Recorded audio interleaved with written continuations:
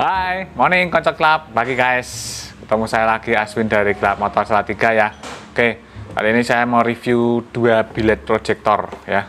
Dua bilet proyektor sama-sama 3 in ya, sama-sama 3 in nih. Sama-sama 3 in.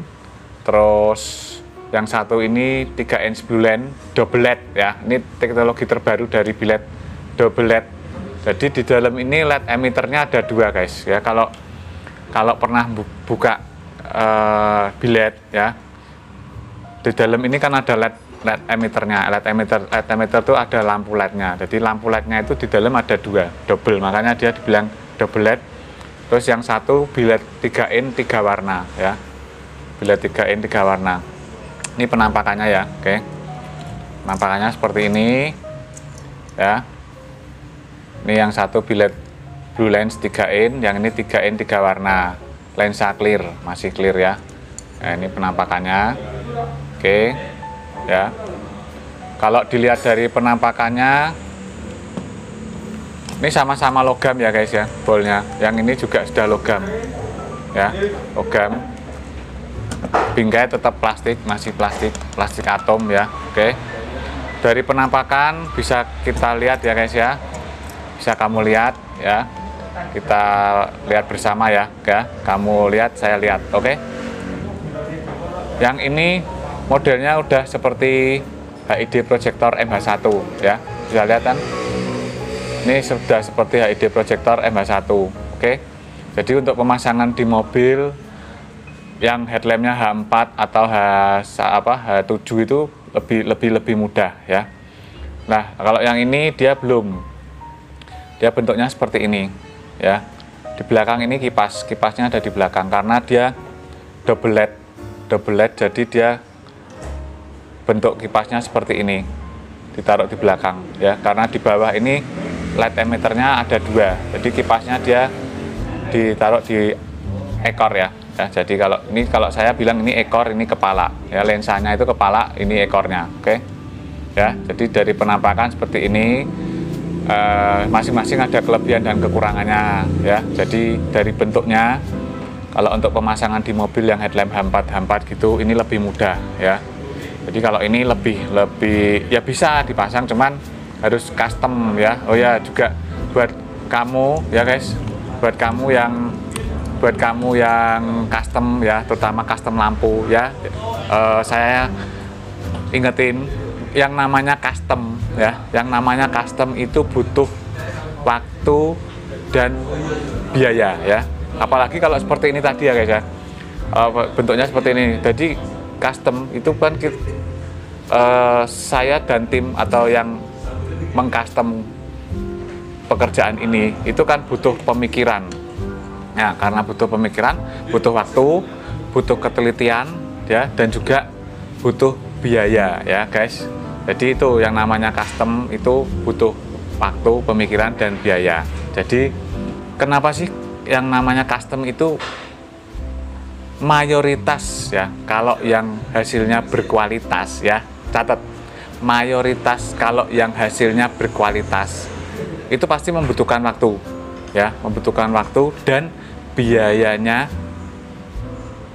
cukup mahal ya.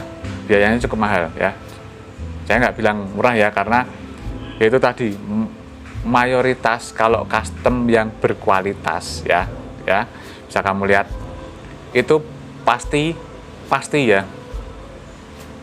Pengerjaannya butuh waktu ya tidak hanya cuman sejam dua jam ya bisa sehari dua hari tiga hari bahkan seminggu. Dan biayanya cukup mahal ya. Itu karena ya itu tadi ya guys ya butuh seperti ini tadi kan butuh butuh kita itu butuh saya dan tim itu butuh pemikiran untuk bisa dipasang di mana caranya ya kan? Oke. Dan juga butuh waktu butuh biaya ya. Oke. Oke sekarang mari kita lihat kemampuan dari dua bilet proyektor ini. Seperti apa output sinarnya ya. Oke. Saya akan coba di malam hari ya. Oke let's check it out.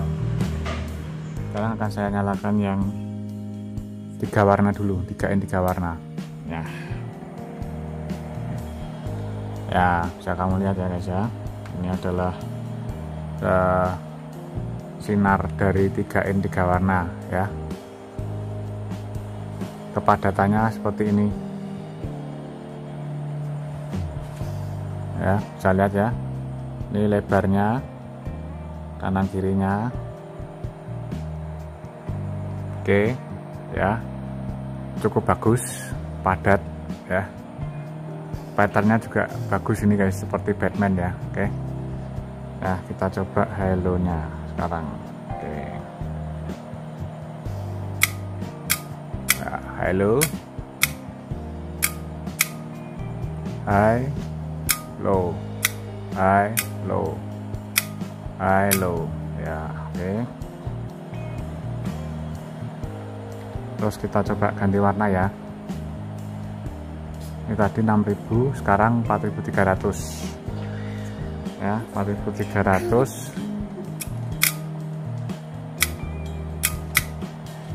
oke.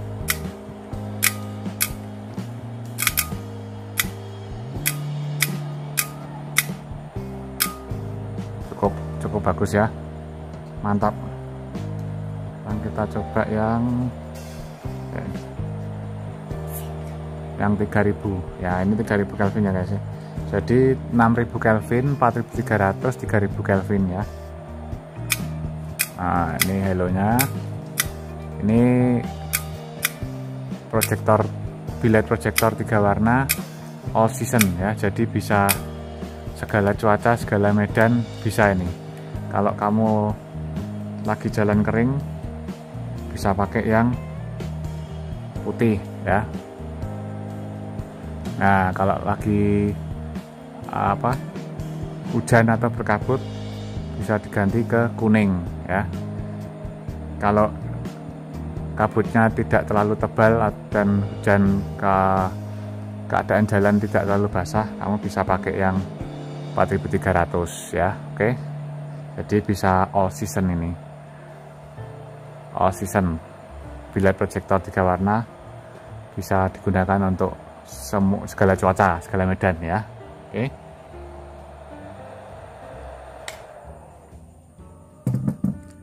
Oke okay guys, sekarang kita coba yang UPS 3 in Blue Lens double LED ya. Oke, okay, sekarang kita coba yang UPS ya, double LED 3 in Blue Lens. Wow, mantap banget kalau ini guys ya, mantap banget ini sinarnya. Ya, lihat datanya dulu ya, lihat patternnya dulu, lo liatin. Lebarnya sampai sampai situ ya. Tadi yang tiga warna cuman cuman cuman sampai sekitar sini aja ya guys ya. Hmm. ini liatin padat padat merayap eh kok padat merayap? Padat merata. Ya tuh liatin ya. Sampai sampai sana ya bisa kelihatan ya. Oke nanti saya akan bandingkan saya akan nyalakan dua-duanya nanti. Sementara ini kita tes dulu yang ini. Kamu bisa lihat juga ya ini patternnya garis cut off juga tegas ya. Garis cut off ini tegas. Terus kelihatan kebiru-biruan ya. Terus kemudian ini mangkoknya juga uh, seperti parabola lebih seperti parabola lebar ya. Oke jadi kalau misalnya posisi ini ini posisi kita di depan mobil ini sudah penerangannya ini uh, bidang luas bidang yang diterangi itu lebih luas ya. Jadi ini loh guys ya. Ini kalau parabola ini bentuknya parabolanya mangkoknya ini cekung banget gini itu bagus ya. Jadi luas luas daerah yang diterangi ini lebar dari dari dari depan mobil sampai ke sana itu jaraknya lebar ya oke ya ini kita coba. Sekarang kita coba halo nya wuh bentar ini kameranya kena pantulan. Uh. Bentar ya saya cari posisi dulu guys. Biar tidak kena pantulan. Nah ini dia. Oke. Kameranya biar tidak kena pantulan. Oke tuh kan kelihatan ya halonya ya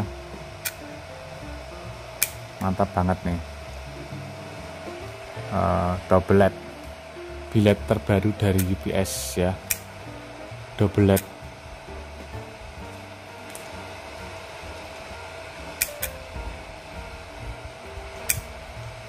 oke. Okay. bilet terbaru dari UPS doublet 3 inch blue lens ya. Oke okay guys. Seperti ini penampakannya ya ya.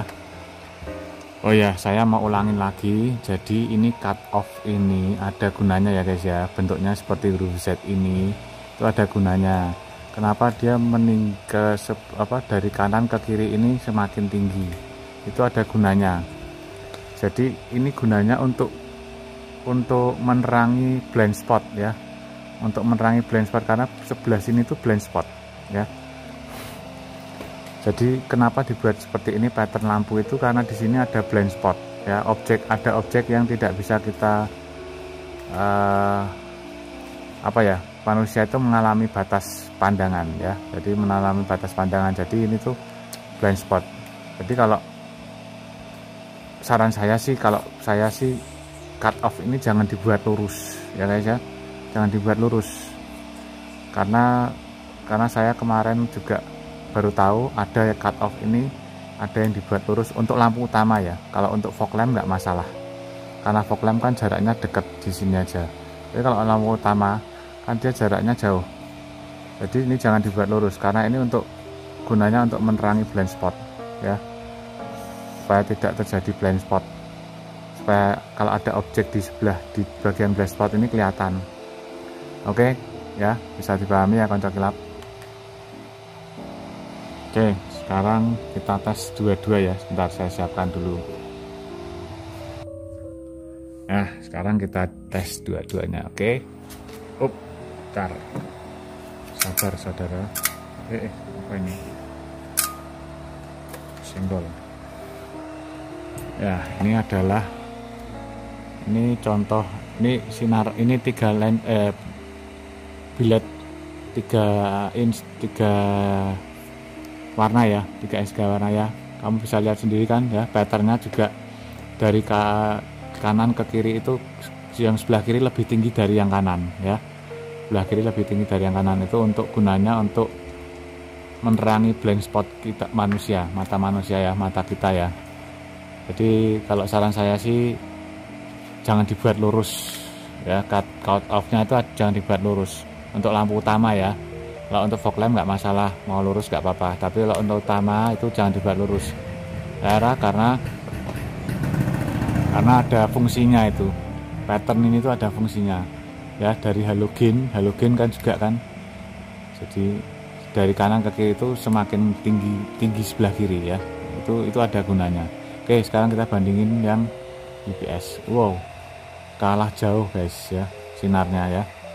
Ini yang UPS 3 in oke UPS 3 in ini yang tiga warna LED tiga warna bilet 3 in tiga warna. Ini UPS 3 in jadi ini 6000 Kelvin ya. 6000 Kelvin penilaian saya ya ini ya. Kalau ini 6000 Kelvin.